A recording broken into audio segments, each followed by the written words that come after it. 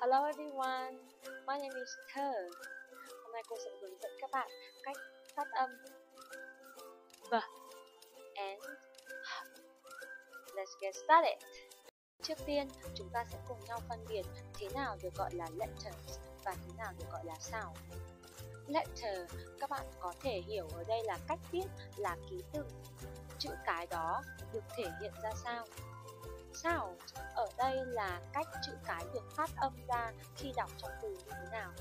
Trong tiếng Anh thì có khác một chút xíu các bạn nhé. Cô lấy ví dụ này. Letter B, letter B, nhưng mà sound âm được nhưng âm của letter B lại là b. B. Letter H, letter H, nhưng âm của letter H lại là Vậy bây giờ chúng ta sẽ cùng tìm hiểu kỹ hơn cách phát âm của letter B và letter H các bạn nhé. Let's go. Now look, this is letter B. Letter B. Okay, bây giờ các bạn sẽ cùng cô nhìn khẩu miệng của cô giáo ở trong video để xem cách phát âm của letter B như thế nào các bạn nhé.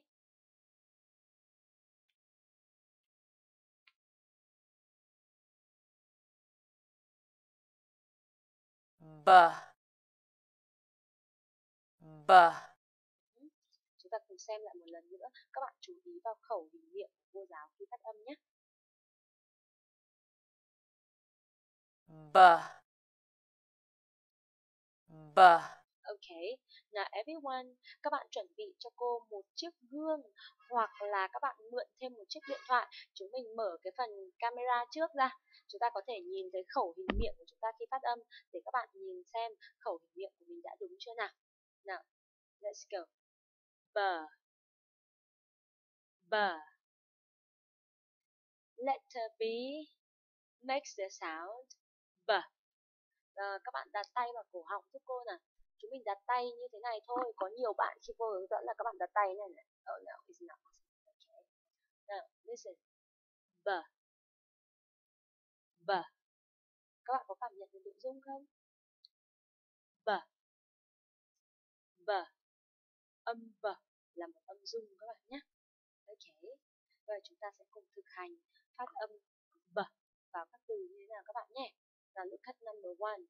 Các bạn thực hành và làm cùng với cô nào b buy b boy b that. Okay now let's go. B b buy b b buy b b boy b b boy b b bat b b bat mm-hmm. now let's chant và chúng ta sẽ cùng nhau chant nhạc nhé. One, two, three, four. Boy. Boy.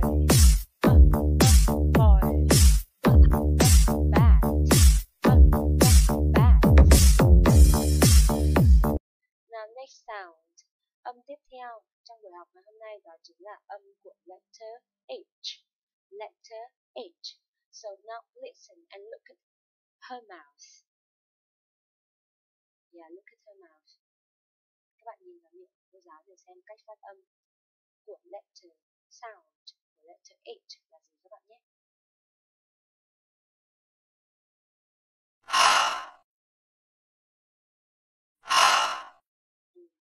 One more time.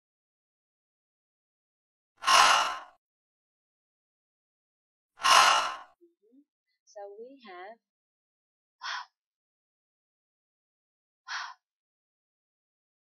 Bây giờ các bạn tưởng tượng này, chúng ta đang chạy. Chúng ta đang tham gia một cuộc thi chạy. Nào các bạn chạy đi nào. Và các bạn rất là mệt, các bạn sẽ thở như thế nào?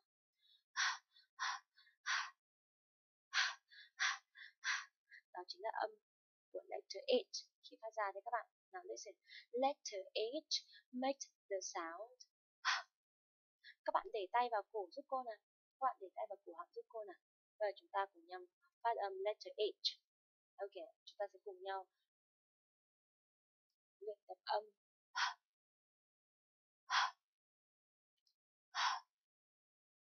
không rung đúng không các bạn? Bây giờ chúng ta phát âm b, b, b, b. Bây giờ chúng mình phát âm ờ. ok. Hai âm này khác nhau đúng là âm b thì dung nhưng âm thì không dung các bạn nhé. Và chúng ta sẽ cùng nhau thực hành phát âm vào các từ như thế nào các bạn nhé. Mời các bạn nhìn vào ba từ phía dưới và đọc cùng với cô nào. Hi, hi, hello, hello, hop, hop. Yeah, thank you everyone. Vậy là vừa rồi chúng ta đã cùng nhau tìm hiểu cách phát âm của letter B and letter H và chúng ta sẽ cùng nhau thực hành bài chant để các bạn nhớ lại cách phát âm của letter B và letter H các bạn nhé. Now let's go.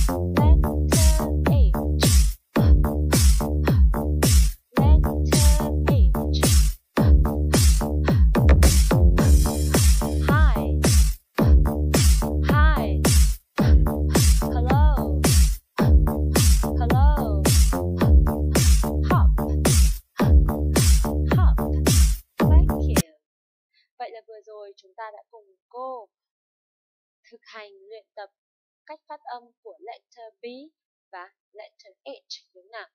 Letter B makes the sound B. Letter H makes the sound